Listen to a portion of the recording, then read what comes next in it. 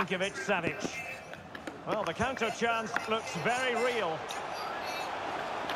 Being egged on by the crowd.